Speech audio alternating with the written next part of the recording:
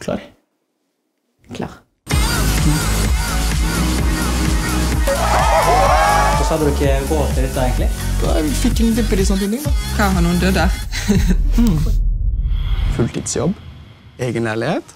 Men eh, ja, det blir faktisk bare to barn. Faen, jeg må stikke. Snakkes etterpå.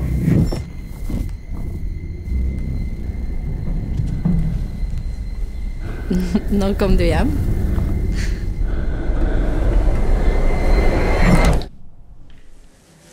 Hva er det du driver med? Se da.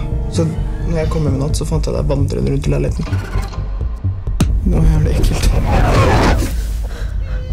Betegnelsen mareritt henger sammen med tradisjonelle forestillinger om å bli ridd av en mare.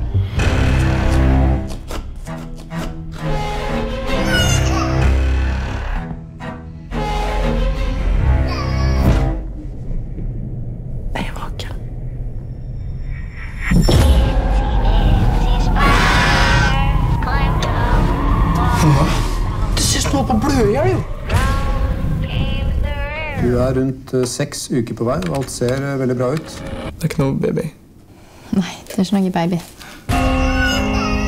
Har du opplevd å være våken i drøm? Ja. Hvem drømmer du om? Det er en skikkelse, en mann, oppi. Kjæresten min, men det er ikke han.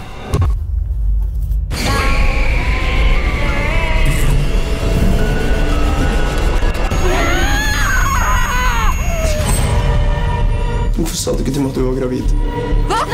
Nonas opplevelse ligner på den klassiske beskrivelsen av Mar. Et ondt vesen som oppsøker deg i søvne, paralysert.